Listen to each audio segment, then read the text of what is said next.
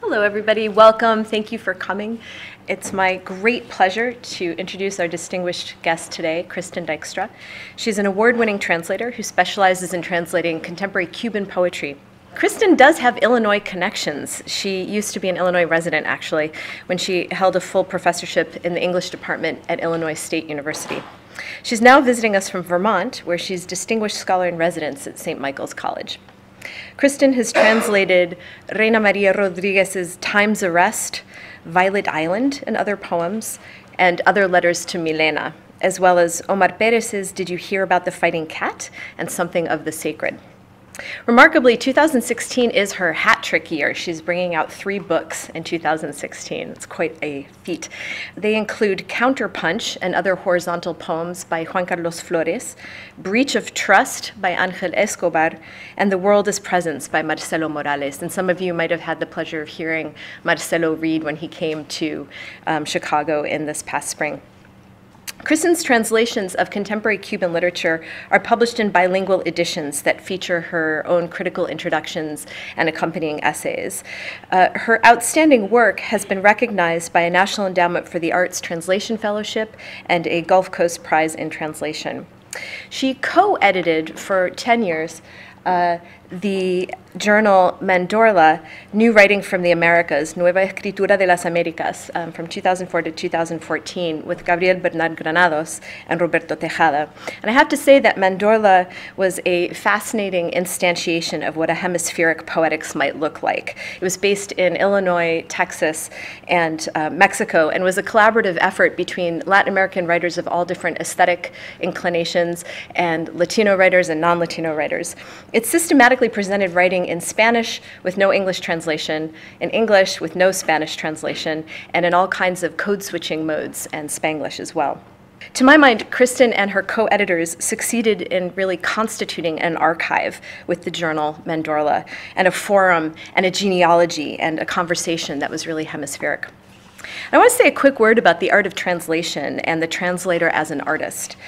In one essay, uh, Kristin has called translation, quote, ideally a site of intersection between human minds. She has a tremendous ability to create idiosyncratic voices across the poetry that she translates, and a gift for rendering lean, muscled language in memorable lines. When she translates a poem from Reina Maria Rodriguez into English, it becomes a new poem in English. Rodriguez's poem in English, also known as Kristin's translation, takes on a new parallel life that coexists with the original.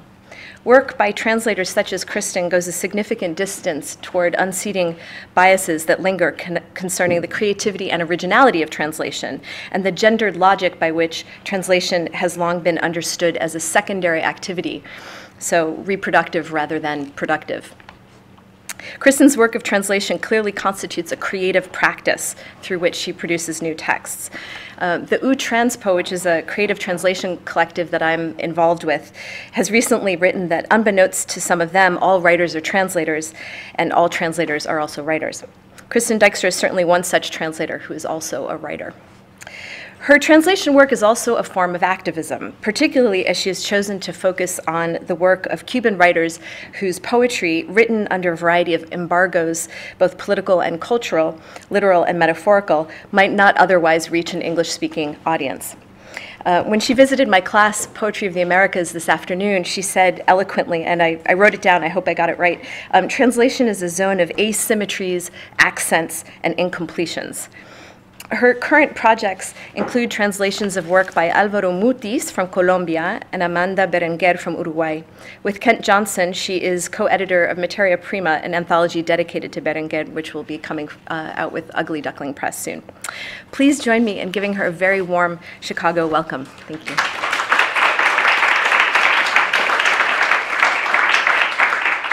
Thank you to everybody who made this night possible. I, I, want to extend not only my thanks, but I've been talking with Reina Maria Rodriguez, who was supposed to be here with me. She sends her thanks afterwards. I can talk a little bit more about her. Um, uh, and, and not being able to come this time. But um, please know that she wanted very much to be here and hopes to be able to come in the future. So, on her behalf, I am also saying thank you for um, creating this event. Now, since we don't have Reina, we um, have been talking. I restructured it to do something that would be complementary. So when hopefully Reina comes back in the future, it would not duplicate, but would rather complement uh, a future visit from her. And with that in mind, I've shifted the focus of the reading. All of the translations that Rachel is talking about, these were the first book length translations of those authors into English. And that is also true for Angel Escobar, Juan Carlos Flores, and Marcelo Morales. So I'm used to getting up in front of the room and people having no idea who I am talking about. And because of that, I have learned that I should do things like bring in photographs and audio recordings. I actually am going to play Reina reading a poem for you so you can really hear her and the sound of her voice and her presence. Same for Juan Carlos Flores. I, I videotaped him in uh, Alamar in 2010. So um, unfortunately, Escobar was deceased when I came to his work, so there was no such opportunity to do that. But I do have photographs from one of his friends he was very close with during his lifetime. So I, what I would like to do is give you uh, a small amount of context, but not too much, because this is really a creative reading um, focused on experiencing the writing and not the critical side of the conversation. Before that, I have to have a little literary fan moment. I just want to point out that Yoss is here, okay? He's here. Welcome. Thank you for coming this is one of the most important sci-fi writers out there and quite amazing. And he has a fabulous interview with Jacqueline Loss up in BOMB very recently. I just think if you have any interest at all uh, in this area, you should say hello. And um, I, I, will tell you, never once when I imagined staging this event did I imagine that he would be sitting here in the room with us. So um, thank you. That's really wonderful that you are that you're here. So I'm going to start out with uh, a little bit of a framing. Since when you say three Cuban poets, you immediately put nation in the center of the rubric, uh, I would like to bring in a voice. Francisco Moran and I were emailing last spring after he had seen some of these books and looked at the poets who are being represented by the University of Alabama Press in this set. These are the first Cuban um, collections that they have done.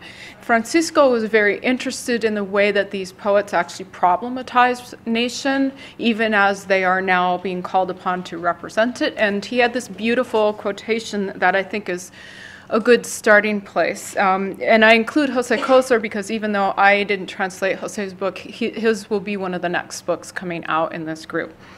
And Francisco wrote, they are not great poets to build on national discourses. As a matter of fact, they inhabit, in my view, a marginal space in regard to nation. Whether they are or aren't in Cuba, they are diasporic voices. This is not to say they are not political voices too, for they are. However, they are political in the sense that Rancière sees it. Literature falls on the political, for it is the space of dissensus. It points to gaps and wounds where national identity dreams of a whole united nation. Sometimes in the United States, when people come to a Cuban literary event, they have uh, certain expectations that the poetry will give voice to a certain kind of politics or a kind of rhetoric. And these poets really resist doing that. So um, I think Francisco's starting point is is a good place. And Francisco not only is a wonderful scholar of Cuban literature, he uh, has also been dedicated to poetry for a long time and, and knows these writers, right, knew them in Havana. So I will start with Reina. I have been working with her for about 20 years at this point. Um, she is known uh, for more than just her own writing. She was also uh, an organizer and a mentor to a lot of writers. And that has been a, a, reality of the translation process for me because through Reina, with whom I began, I was referred to other people. I met other people. I learned a bit about the poetry community. Um, I heard people talking to me about why I should translate Escobar, and people who have very, very different aesthetics. Um, all claim Escobar as one of the most important voices um, of recent Cuban poetry. I heard over and over again about Juan Carlos Flores. So these are some of the reasons that I chose uh, to do these collections. Just to give you a little bit of a sense of Reina's preeminence in world letters, I'm going to very rapidly go through just a small number of the prizes that she has won, just to give you a little bit of uh, a sense of. Um, she, her, she has a very active still uh, publishing career today, predominantly coming into things through poetry, but she also does intergenre writing, essays, and novels. Um, she has two Casa de las Americas awards for poetry, both from the 20th century. Um, won a major award in 2002, won the National Literature Prize uh, a couple of years ago, which occasioned her a certain amount of stress, um, representing the nation in this respect, and then won the Pablo Neruda Prize, which, for those who are unfamiliar with it, it's awarded in Chile. It is one of the um, major prizes in um, Spanish language poetry and carries a cash prize as well, um, which uh, makes it a very coveted prize. And her cultural activism really comes to the fore in the 1990s during what's called the special period in Cuba, which is during the realignments following the collapse of the Soviet Union. Um, that's when she began to use her home as a gathering space uh, for artists and writers to come together and be able to talk about their work with a critical perspective. She still today is trying to do some of that. She has a small press that publishes tiny press editions, but she is spending a fair amount of time outside the island now. So um, she's uh, interested in topics such as diaspora and displacement, even as she has long been associated with not only a specific neighborhood, but a particular block and a particular apartment building um, where she still has family. Her mother is, is still there. Um, she would also specify uh, uh, that the Tower of Letters publishing project does have one point of intersection with the state which is when it actually gets physically printed. So she tries not to have it overseen in terms of content selection or production um, by uh, state facilities, um, but she wants artists and writers to be in charge of the selection. And with translations, she wants translations executed by creative writers because she feels um, there are too many translations that are executed without proper attention to the, the literary qualities of the work um, at this point in Cuba. She's in central Havana. And the community she talks about is uh, a more working class community than um, uh, some other writers. She also, these are some of the younger writers I will refer to in passing tomorrow in my talks. She connects um, uh, people who come to visit her home with young writers now to try to create um, new opportunities for them. So earlier today, I was talking with one of the classes about um, a book called Catch and Release, where the metaphor of fishing, catching and releasing a fish, is a metaphor for her for poetry, and um, sort of capturing something and letting it go. There's a lot of maritime imagery in this book, and this is one of those pieces. Fisherman, rough. It's not laudanum they'll pull out of the ochreous depths of your patience waiting on the wall. Deeper, much deeper at the bottom, thought decomposes and breaks apart. Fish corpses, shadows of lights that once marked ships' profiles, shackles forged from the imagination, reduced by the wild coast to the wretchedness of pollution, not being anything anymore, scrap iron for scavengers. I watch for movement in the nylon line because I want to recover sunken history, and so I see them haul out something changeable, the fishermen riding the wall like horsemen, their heavy grief afloat. But life doesn't come floating past a second time in its boat, and there hasn't been enough fishing to navigate this dead calm that deceives us by lapsing into storms. When the afternoon vacates the vision you were creating of it over the faces of those fishermen in their work brown shirts, reminding us they can't fish out a wild and special something with a skin that would shine in the sun.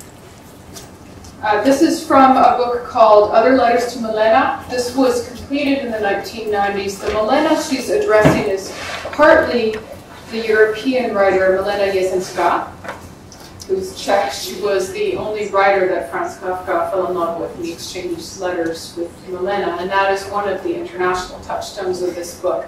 Reina integrates references to everyday life in Havana with often these international um, touchstones and moves back and forth between them. The other Milena is her daughter, This is Elise Molina. Elise was a child in the, the special period crisis, and this book is uh, actually one that Reina doesn't like to read from because it puts her back into a time and a place psychically that is too hard to inhabit while she's trying to focus on her current work, her current projects. She doesn't want to read from this book. So here I am going to take this opportunity while she's not here, but because I think the reason that she does not read from this book makes it all that more important for us to look at it. Um, it is a very deeply meaningful and personal book, even as it's very intellectual, and I, I occasionally call her merciless. I think this is a merciless book.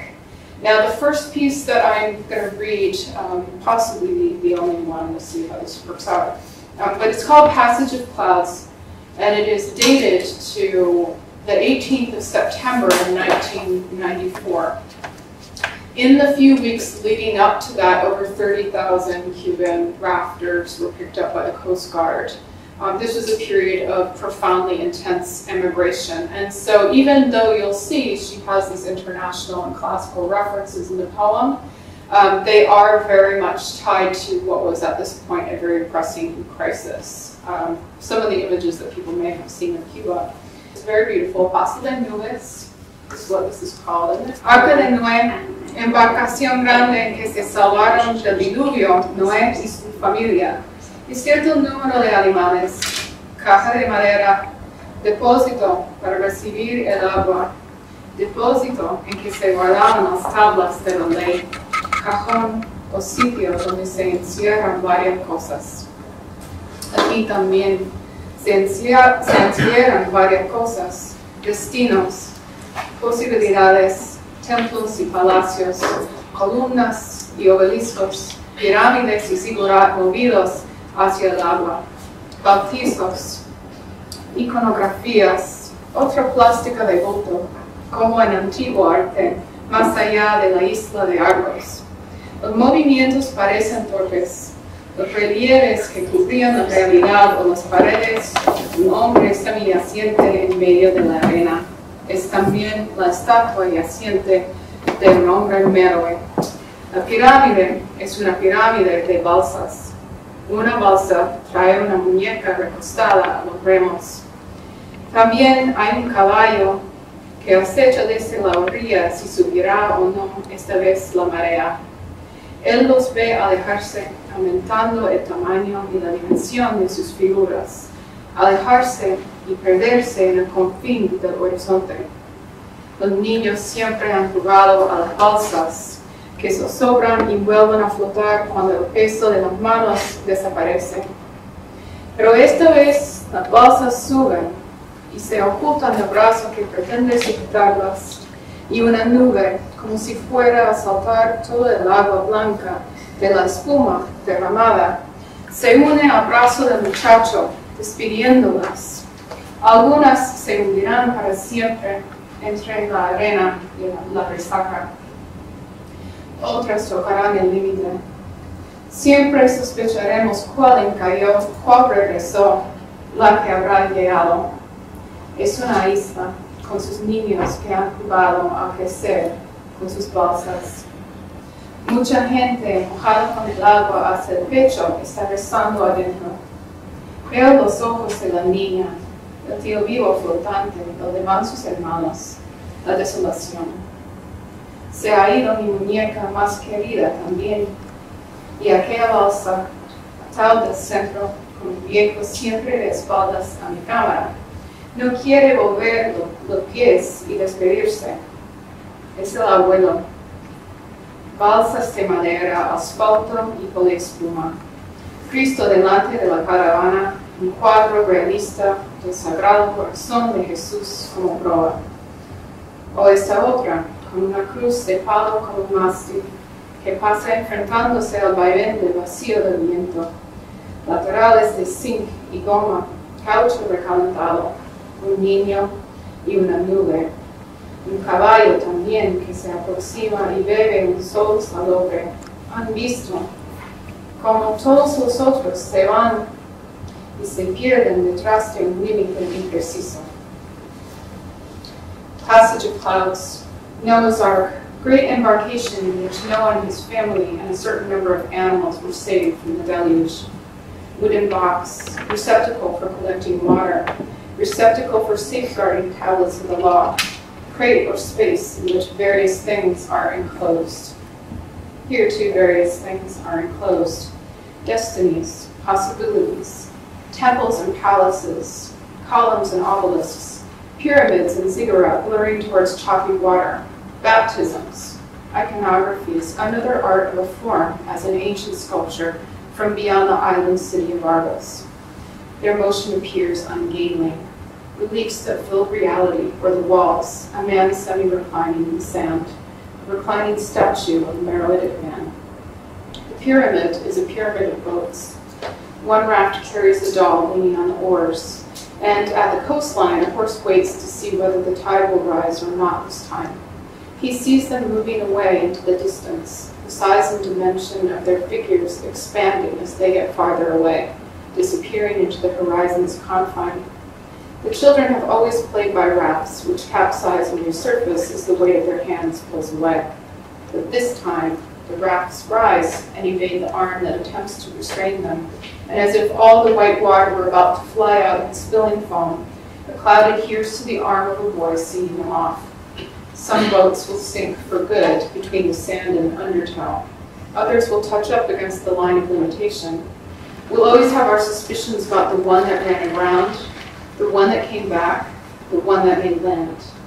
This is an island. The children grew up playing with its rafts. Many people soaked up to the chest with water are praying on the island. I see the girl's eyes, the floating carousel where her brothers have gone, the desolation. My favorite doll is gone too and that raft, shrouded at the center with an old man whose back is always to my camera, who doesn't want to turn his feet to leave. It's the grandfather. Boats of wood, asphalt, and styrofoam. Christ at the front of the caravan, a realist painting of the Sacred Heart of Jesus at the bow, or this other one, a cross made of sticks for a mast passes by, off to confront the rolling of the void and the wind. Sides of zinc and rubber, melted tire, a boy and a cloud, and a horse who approaches to drink from a brackish sun, have seen how all the others go off, lost behind some big boundary. So that's one of the longer ones I'll do. Um, I think when you have the bilingual readings, um, shorter pieces tend to work a little better, but it, you can see she's working across genres. You have something that looks on the page like a poem, indisputably, you have this, which is a rather dense um, prose poem, and then it moves into letters to her daughter, Elise, um, and, uh, and into essays.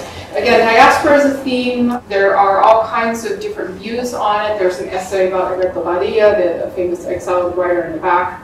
But the heart of it is really Elise, and there was a moment when the writing the translation part of it intersected with the very real realities of diaspora because I went to work with Reina on it. And during my visit, I discovered Elise was actually preparing to leave.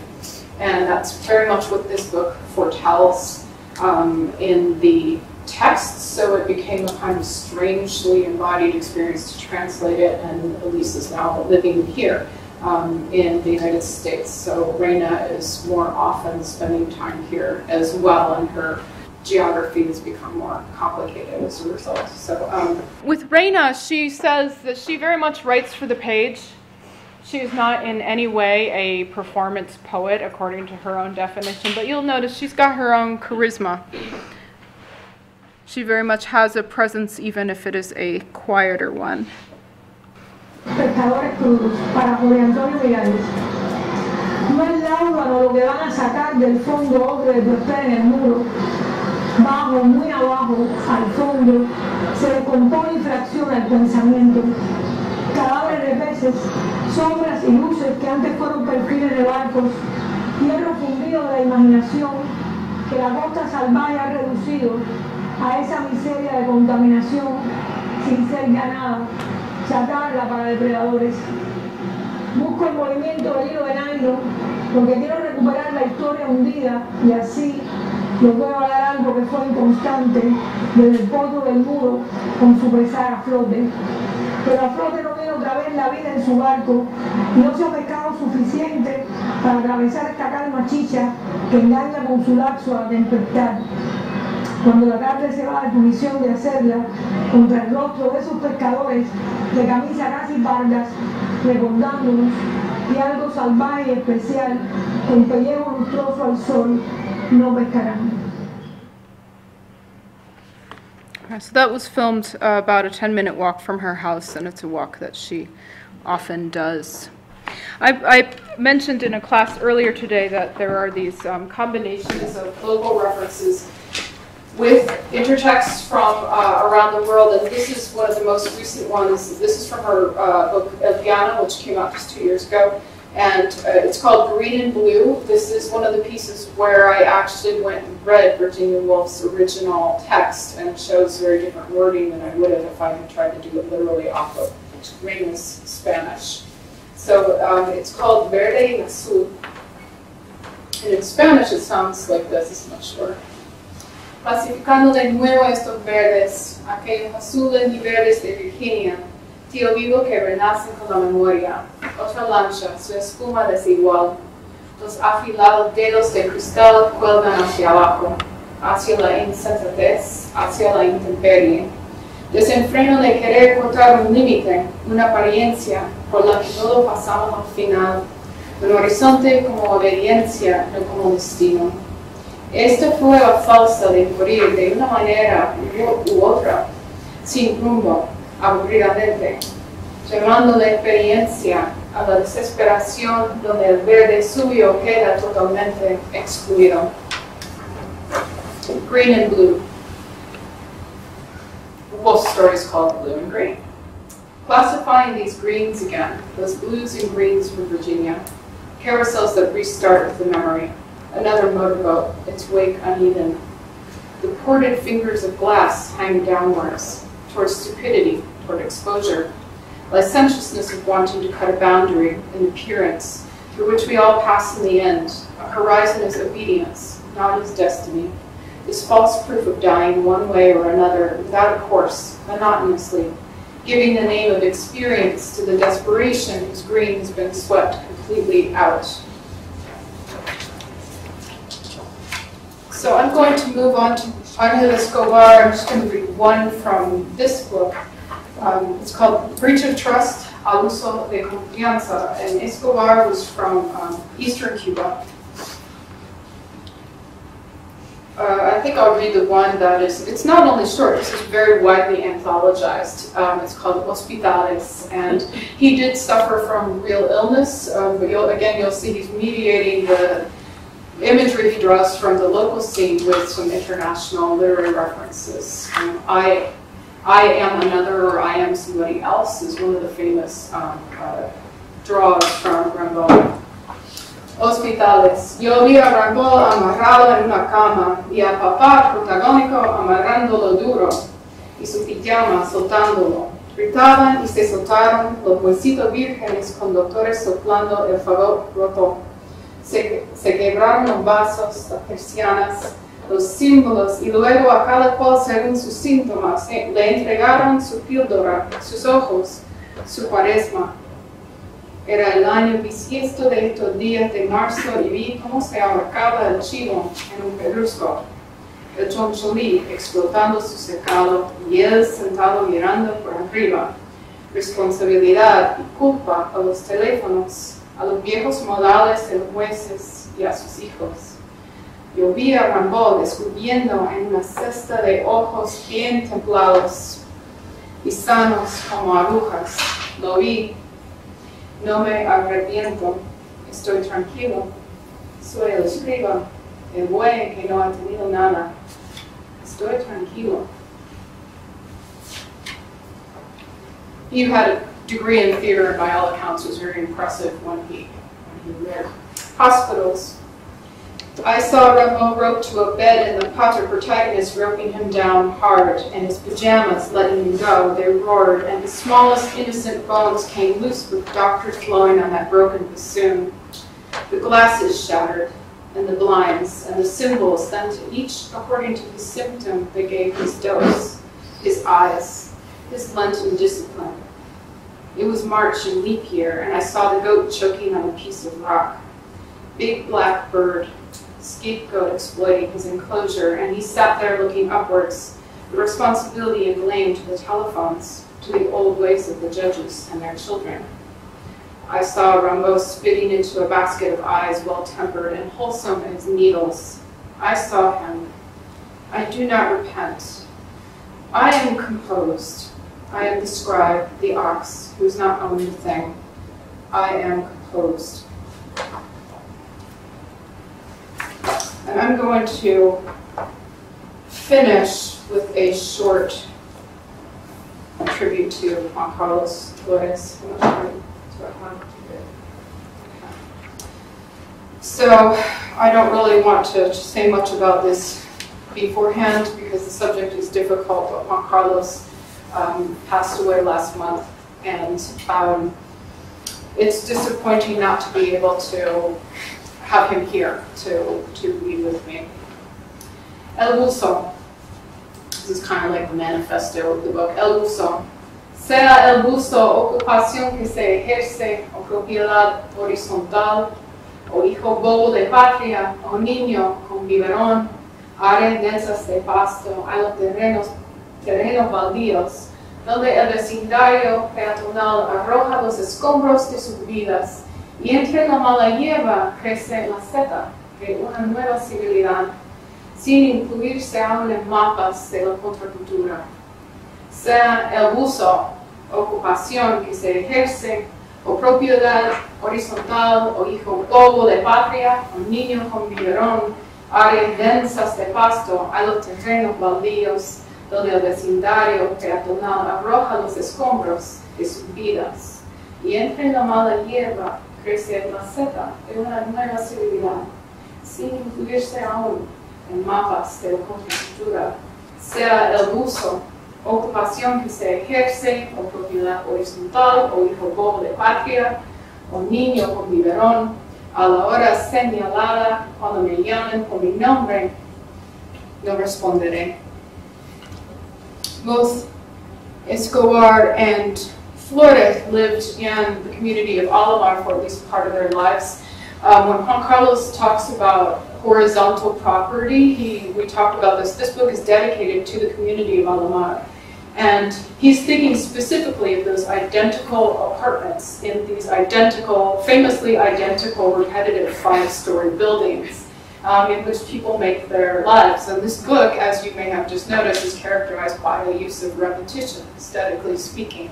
Um, and he's uh, kind of a master of that repetition. It's fairly amazing um, how much variety he could work into that. This is a photograph I took of him. He was a uh, very intensely interested in visual arts, and um, we went together to the Fine Arts Museum, and he walked me around, and he would show me some new works each time, and he set up this photo when he knew I needed an author photograph for him. Um, so this book has a lot of references actually to visual art. I'm going to show you a different kind of translation of Juan Carlos's work, because Juan Carlos is, of all three of them, the most performative poet of them all, right? And although I didn't get to spend a lot of time with him on the ground in Alamar being at those performances, he talked to me about them. And so I'm going to try to give you a little bit of sense. These poems, not only do they function in a very sophisticated manner on the page and in reference to visual art, they are also scripts to be used for performance. And I know how he did this one sometimes, so I'm actually going to have you guys do one with me. And, you know, Juan Carlos will come out to these events in Havana, and he would just like I'm up on the table. So here we go.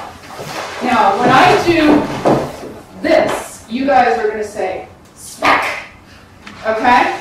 We do that, I know we're at the University of Chicago. Uh, this is also briefly, students, you need to know the Soviet Union invaded Czechoslovakia one time. understand this poem. Here we go. Mea culpa for Tomas.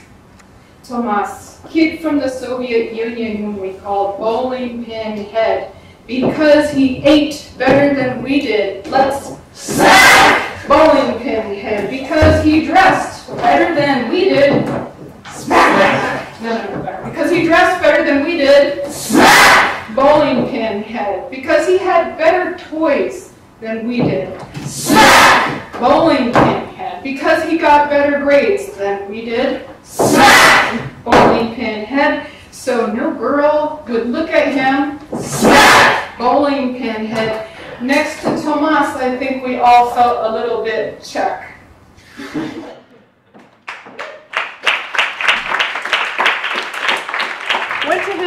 In Alamar, and we did not plan this, but he knew I was coming. And to just get a little bit of a sense of how good he was at performing, um, I'd like to play you what he called the famous, or not the famous, the most, um, uh, his favorite poem of this batch. It is fairly repetitive. I hear it's a dialogue with some French uh, prose poetry. But you can see, you'll notice he maneuvers within the camera screen. I didn't have to keep him there. Like he was very conscious of where he was and required virtually no direction to make this work. All right, so there are actually four poems from this book, with Juan Carlos reading them in the original Spanish, if anybody is interested in hearing them. He reads Tomas, but of course it's not a performed version, so you can actually hear his intonations, but you don't get to have the feeling of being in the actual space. So this is inside his apartment in Alamar, where at that time he was living with Myra Lopez, who was uh, an essential collaborator in terms of technology. Estos los voy a leer bajo protesta, tengo hambre.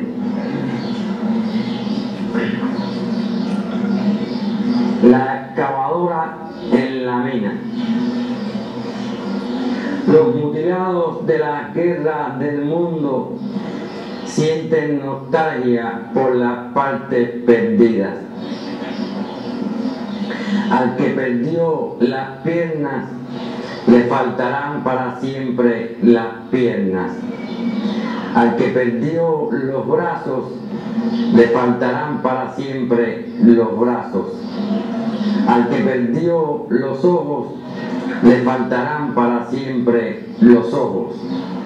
Al que perdió los dientes, le faltarán para siempre los dientes. Cual recordando lo que hacía con su parte de menos. Al que perdió las piernas, le faltarán para siempre las piernas.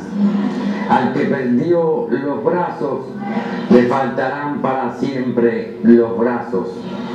Al que perdió los ojos, le faltarán para siempre los ojos. Al que perdió los dientes, le faltarán para siempre los dientes. Y si juntásemos cada parte perdida, haríamos el inventario de la ausencia del hombre.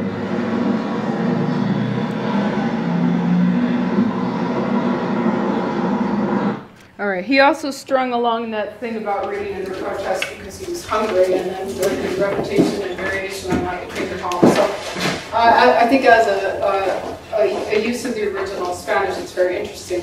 In uh, Alamar, Juan Carlos knew people who had fought abroad and you know literally came back without parts of themselves, and he brought that up when he was telling me about this poem. It's called The Excavator in the Mine. Those mutilated in the wars of the world feel nostalgia for the lost parts.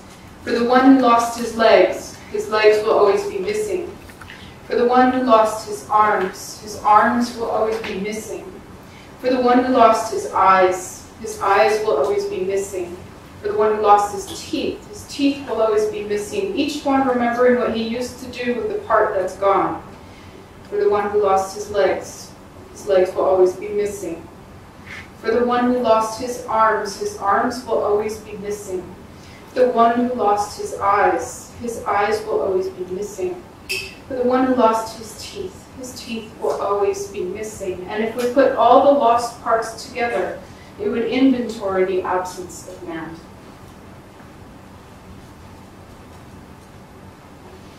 Okay, I'm just going to do one or two in English because I think we're running a little short on time, but this one is entitled RMR. Uh, there are a lot of poems in here that have real people behind them, although Juan Carlos told me that he also distorted them quite a bit in order to fit what he wanted the poem to be. So he doesn't want to identify too many of these people by name, but this is clearly a reference to Reina Um, she does, for example, have a son named Edgar. In order to go visit her, you have to climb up lots of stairs and go back down, and these are all incorporated into the poem.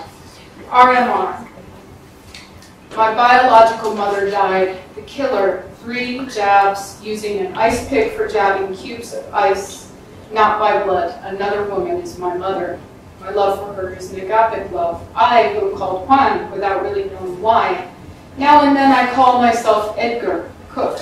The poems you write smash teeth. I've answered by shrugging my shoulders. I go up a stairway, my biological mother died. The killer, three jabs, using an ice pick for jabbing cubes of ice, not by blood.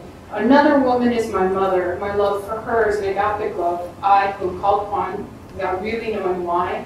Now and then I call myself Edgar, cook. The poems you write smash teeth. I've answered by shrugging my shoulders. I go down the stairway.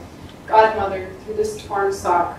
God enters me, comes in through a paw or a foot.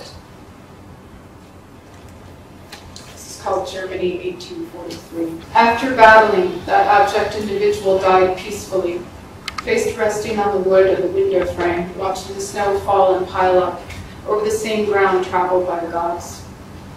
Circles never coming to a close, us. We go along wiping out our lifetimes, on some occasions external men, on others internal men, never the man fine and exact, thus the precariousness of our gestures. Circles, never coming to a close. Someone at a more propitious moment perhaps may resolve this arduous issue. After battling, that abject individual died peacefully, face resting on the wood of the window frame, watching the snow fall and pile up over the same ground traveled by the gods. Thank you. I'm going to stop there.